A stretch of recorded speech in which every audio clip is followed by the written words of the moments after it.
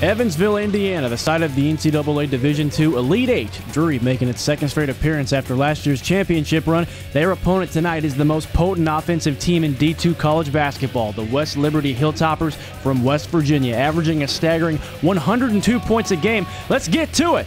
Hilltoppers open with a three. Cam Adams is there on the other end to impose his will. That's what Drury wants to do slow down the Hilltoppers, not play their game. But every once in a while, they'll launch from distance. Lonnie Boga knocks down the first three for Drury, DU out to a 5 4 lead but not for long. West Liberty likes to run and gun, and they love the three, hitting 12 and a half a game, but maybe using that to their advantage early, catching DU off guard inside the line. Kelvin Goodwin's jumper is good. Then here's the three. That pushes Liberty's lead to six. Panthers answer with a 9 0 run. Drake Patterson has that long distance plan. His triple puts Drury ahead one. The lead ballooned to as many as 11, but the Hilltoppers recover with an 11 2 run of their own to keep it a two point DU lead at the half.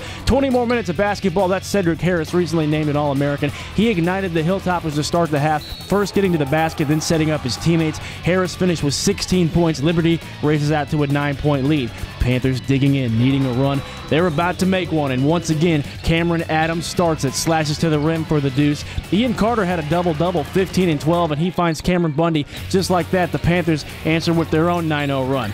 And that's just what this game was hot and cold, hot and cold, a style that typically favors West Liberty. One final run, and it was this man who got hot when his team needed it. Seger Bonifant, the sophomore, went in fuego in the final third of this game. Bonifant was a perfect 7 of 7 from the field, hitting all six from three. He ended with 20. West Liberty's final run was what sealed this game. The Hilltoppers, injury season with an 85 75 win. They'll advance to play the winner of UC Aiken and Chico State.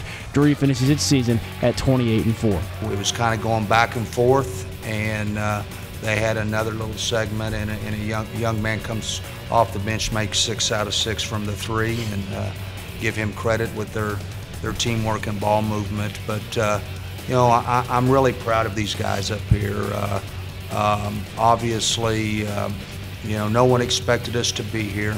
Um, you know, we lost three outstanding seniors last year, and and uh, it didn't take real long for these guys to figure out that uh, uh, we played in front of the, the biggest crowds uh, on the road that, that, that our opponent are, uh, had for the year. And, uh, you know, these guys, uh, you know, had to, you know, really, you know, do things and, and be a team. And, and so I'm just really, really proud of them.